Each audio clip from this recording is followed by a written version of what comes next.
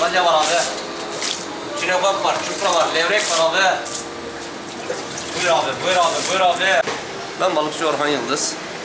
Ee, havaların 2-3 günden beri soğuk gitmesinden dolayı, bandırmada fırtınanın olmasından dolayı, denizlere dalgalı olduğu için balıkları biraz biraz fiyatlandı. Hamsi şu anda 20 lira, istartlar 25 lira, 20 lira. Çinekoplarım var 20, 35, 50, büyüklüğüne göre değişiyor. Lüferlerim var 100 lira kilosu. Çupralar var 35, 40, 50 şeyine göre değişiyor yani.